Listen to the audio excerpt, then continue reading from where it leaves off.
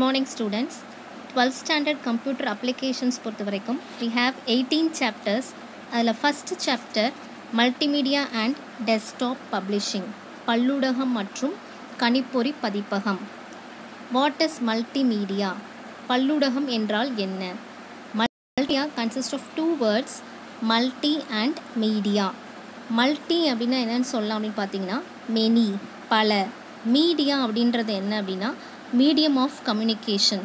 அதாவது எப்படி நம்ம கம்யூனிகேட் பண்ண முடியும்? ஃபார் எக்ஸாம்பிள் ஒரு டெக்ஸ்ட் மூலயமாவோ எழுத்து மூலயமாகவோ அல்லது இமேஜஸ் சவுண்ட் வீடியோ அல்லது அனிமேஷன் மூலயமா நம்ம என்ன பண்ண முடியும் அப்படின்னா கம்யூனிகேட் பண்ண முடியும்.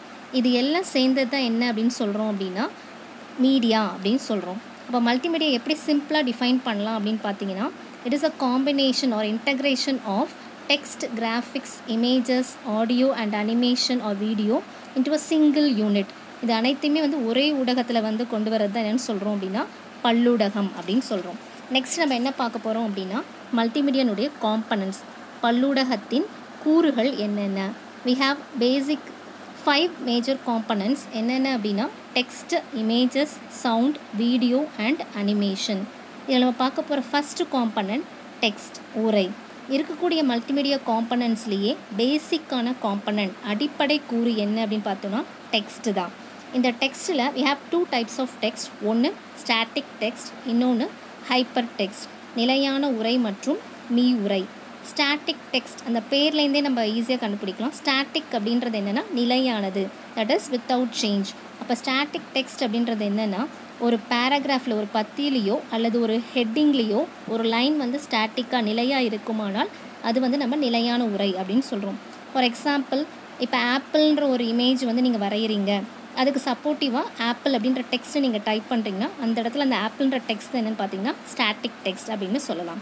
நெக்ஸ்ட் ஒன் ஹைப்பர் டெக்ஸ்ட் சில வெப்பேஜஸ்லாம் பார்க்கும்பொழுது அந்த வெப்பேஜஸில் ஒரு ஹைப்பர் லிங்க் இருக்கும். அந்த லிங்க்கை கிளிக் பண்ணும்போது it will direct to some other webpages அப்போ இதை மாதிரி அந்த வெப்பேஜில் இருக்கக்கூடிய டெக்ஸ்ட்டு ஹைப்பர் லிங்க் இதெல்லாம் சேர்ந்தது தான் என்ன அப்படின்னு சொல்கிறோம் அப்படின்னா ஹைப்பர் டெக்ஸ்ட் அதாவது மீயுரை ஸோ டெக்ஸ்ட் பொறுத்த வரைக்கும் டூ டைப்ஸ் ஆஃப் டெக்ஸ்ட் இருக்குது ஒன்று ஸ்டாட்டிக் டெக்ஸ்ட் இன்னொன்று ஹைப்பர் டெக்ஸ்ட் அதாவது நிலையான உரை மற்றும் மீயுரை.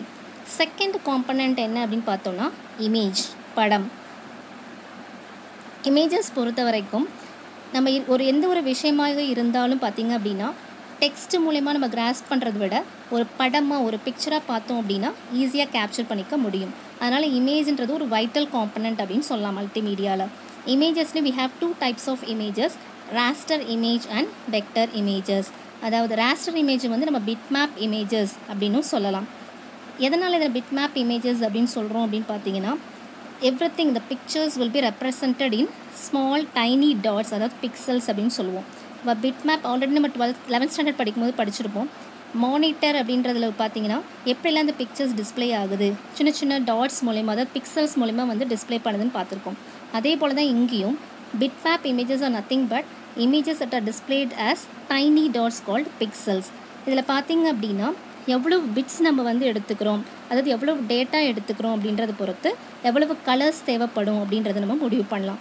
ஃபார் எக்ஸாம்பிள் ஒன் பிட் எடுத்துக்கிட்டோம் அப்படின்னா it will represent two colours அதே ஃபோர் பிட்ஸ் எடுத்தோம் அப்படின்னா it will represent two power four sixteen colours அதுவே எயிட் பிட்ஸ் அப்படின்னா it will represent two power eight அதாவது டூ ஃபிஃப்டி சிக்ஸ் கலர்ஸ் அதே vector images எடுத்துக்கிட்டோம் அப்படின்னா இது எது மூலயமா ரெப்ரசன்ட் பண்ணுறோம் அப்படின்னா ட்ராயிங் எலமெண்ட்ஸ் மூலிமா for example lines rectangle circles இந்த மாதிரி ட்ராயிங் எலமெண்ட்ஸ் மூலிமா ரெப்ரசன்ட் பண்ணுறது தான் என்ன அப்படின்னா வெக்டார் இமேஜஸ் இது ரெண்டுத்தையும் கம்பேர் பண்ணும்போது bitmap and vector images compare பண்ணும்பொழுது எது மோர் அட்வான்டேஜஸ் அப்படின்னு பார்த்தோம் அப்படின்னா வெக்டார் இமேஜஸ் பிகாஸ் இந்த வெக்டார் இமேஜஸ்லாம் வந்து ஸ்மால் அமௌண்ட் ஆஃப் டேட்டா மூலயமா ரெப்ரசன்ட் பண்ணுறதுனால அதனுடைய மெமரி கெப்பாசிட்டி பார்த்திங்கன்னா குறைந்த அளவு தான் தேவைப்படும். ஆனால் பெரும்பாலும் அதிக அளவில் கம்ப்யூட்டரில் யூஸ் பண்ணக்கூடிய இமேஜ் ஃபார்மேட் அப்படின்னு பார்த்தோன்னா அது பிட் மேப் இமேஜ் ஃபார்மேட் தான்.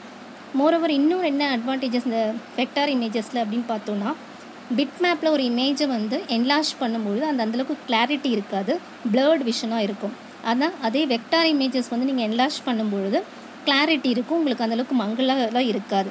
அது வந்து இதனுடைய இன்னொரு அட்வான்டேஜஸ் இது வந்து இமேஜஸ் பற்றின இன்ஃபர்மேஷன் இந்த நெக்ஸ்ட் காம்பனன்ட் பார்த்தோம் அப்படின்னா அனிமேஷன் அசைவூட்டல்.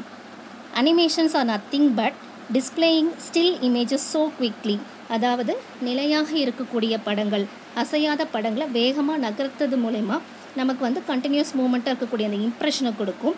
இதை தான் அனிமேஷன் அதாவது அசைவூட்டல் அப்படின்னு சொல்கிறோம் இந்த அனிமேஷன் பொறுத்த வரைக்கும் பார்த்தீங்க அப்படின்னா அது டூ டைமென்ஷனாகவும் இருக்கலாம் த்ரீ டைமென்ஷனலாகவும் இருக்கலாம்.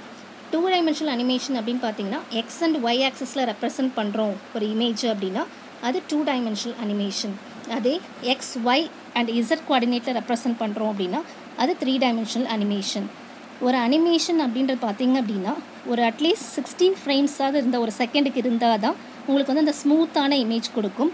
அதே போல் நேச்சுரல் லுக்கிங்க்கு அந்த இயல்பான லுக்கிங் இருக்கணும் அப்படின்னா அட்லீஸ்ட் டுவெண்ட்டி ஃபைவ் ஃப்ரேம்ஸாவது இருக்கணும் ஒரு செகண்டுக்கு அனிமேஷன்ஸ்லேயும் பார்த்தீங்க அப்படின்னா we have two types of animation path animation and frame animation பாதை அசைவூட்டல் மற்றும் சட்டக அசைவூட்டல். பாத் அனிமேஷன் அப்படின்றது என்னென்னா மூவிங் அண்ட் ஆப்ஜெக்ட் ஒரு பர்டிகுலர் ஆப்ஜெக்டை ஒரு குறிப்பிட்ட வா பாதையில் மட்டும் நகர்த்தது மூலயமா உருவாக்கக்கூடிய அனிமேஷனை தான் பாத் அனிமேஷன் அப்படின்னு சொல்கிறோம் இதில் அந்த ஆப்ஜெக்ட் வந்து மூவ்மெண்ட்டில் இருக்கும் அந்த ஸ்க்ரீனில் ப்ளஸ் அந்த பேக்ரவுண்ட் வந்து கான்ஸ்டண்ட்டாக இருக்கலாம். ஃபார் எக்ஸாம்பிள் ஒரு கார்ட்டூன் கேரக்டர் எடுத்துக்கலாம். அந்த கார்ட்டூன் கேரக்டர் பார்த்திங்கன்னா ஸ்க்ரீனுடைய முன்னாடி வந்து நகர்ந்துகிட்டே இருக்கும். Whereas the background will remain constant இதை வந்து நம்ம பாத் அனிமேஷன் அப்படின்னு சொல்லலாம். தென் ஃப்ரேம் அனிமேஷன் சட்டக அசைவூட்டல் பொறுத்த வரைக்கும் பார்த்திங்க அப்படின்னா மல்டிபிள் ஆப்ஜெக்ட் ஸ்க்ரீனில் வந்து மூவ் ஆகிட்டே இருக்கும். சைமல்டேனியஸாக உங்களுக்கு பேக்ரவுண்ட்லேயும் வந்து சேஞ்சஸ் இருக்கும். அப்படிப்பட்ட அனிமேஷன் தான் நம்ம என்னென்னு சொல்கிறோம் ஃப்ரேம் அனிமேஷன் ஃபார் எக்ஸாம்பிள் வந்து மூவிஸ் படங்கள்லாம் எடுத்துக்கலாம்.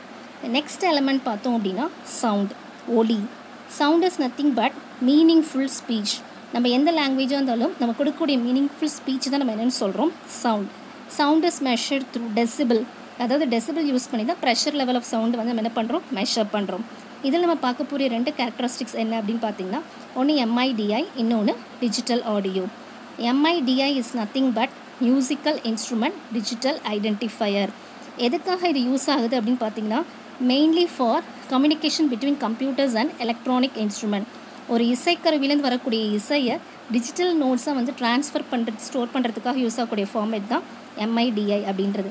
இது உருவாக்கப்பட்ட ஆண்டு பார்த்திங்கன்னா ஆயிரத்தி தொள்ளாயிரத்தி எண்பத்தி ரெண்டாம் ஆண்டு. நெக்ஸ்ட் டிஜிட்டல் ஆடியோ பொறுத்த வரைக்கும் இந்த டிஜிட்டல் ஆட் ஆடியோவில் சாம்பிள் சவுண்டு தான் நம்ம என்ன சொல்கிறோம் டிஜிட்டைஸ் சவுண்ட் அப்படின்னு சொல்கிறோம் அதாவது ஒவ்வொரு எண்ட் ஃப்ராக்ஷன் ஆஃப் செகண்ட்லையும் நம்ம என்ன பண்ணுறோம் சவுண்டுடைய சாம்பிளை எடுத்து பிட்ஸாகவும் பைட்ஸாகவும் ஸ்டோர் பண்ணி வைக்கிறோம். இந்த ரெக்கார்டிங்குடைய குவாலிட்டி எதை பொறுத்து இருக்கும் அப்படின்னு பார்த்தீங்கன்னா சாம்பிளிங் ரேட்டை பொறுத்து. சாம்பிளிங் ரேட் அப்படின்றது என்னென்னு பார்த்தீங்கன்னா எவ்வளவுக்கு எவ்வளோ சீக்கிரம் நம்ம வந்து எவ்வளோ ஆஃபர் நம்ம சாம்பிள்ஸ் எடுக்கிறோம்? எவ்வளவு நம்பர்ஸ் தேவைப்படுது? அந்த சவுண்டுடைய சாம்பிளுடைய வேல்யூ கண்டுபிடிக்கிறதுக்கு இதெல்லாம் பொறுத்து தான் அந்த சாம்பிளிங் ரேட் அமையும். எப்போ நம்மளுடைய கேப்சர் பண்ண குவாலிட்டி வந்து ஃபைனாக இருக்கும் அப்படின்னு பார்த்தீங்கன்னா சாம்பிள்ஸ் எந்தளவுக்கு அதிகமாக எடுக்கிறோம்? தென் எந்த அளவுக்கு டேட்டா வந்து ஸ்டோர் பண்ணுறோம் இதெல்லாம் பொறுத்து வந்து அதனுடைய குவாலிட்டி அமையும். தென் இந்த லாஸ்ட் காம்பனன்ட் பார்த்தோம் அப்படின்னா வீடியோ ஒளிக்காட்சி.